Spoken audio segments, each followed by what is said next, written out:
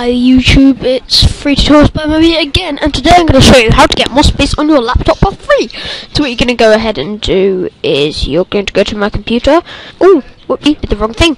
I'm just going to right click and go to properties, and as you can see we have 35.7 gigabyte free at the moment.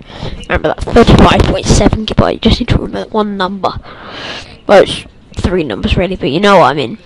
So, what we're gonna is we're going to go down and we're just gonna delete some stuff. Let's delete a little bit of virtual DJ. All you gotta do is delete yes, or you can just press the delete button. And you just put it in the recycle bin, you'll find out later on. So scroll down and see if we can get rid of any of this other stuff. Funny cats here, I think we can get rid of that. Let's get rid of Hearts Keeps a Veet, I don't know what that was and then let's go ahead and get actually I don't know if we need this. Let's just check. Yeah we need that. Okay so let's go back up. Let's delete some of this. Oh why did it go down to the bottom? It's so annoying.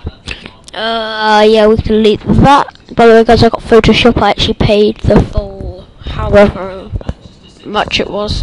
Yes I got full Photoshop. Let's delete some more stuff. Let's go ahead and delete ooh, quite a lot of gigabyte. In there actually I think there's 3.4 gig in there so that will give us some free space. Or I think it was one. So then you're just going to go ahead and go to recycle and then you can see we've got all of that in there now.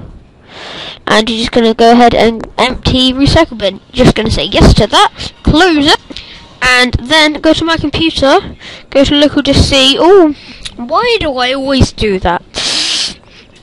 And now we have 37.4 gig, whereas when we started we had 35.7 gig. So we've gained 2 gigabyte there. It's quite a bit, if you ask me.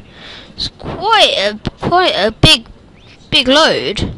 2 gig. I don't know how much you can fit in 2 gig, but you can get quite a bit. I think it's around about one movie. One big movie, maybe. Yeah. So, well, guys, thanks. Thanks for watching and hopefully you've learned something from here and you will know how to get more spin. See you, bye.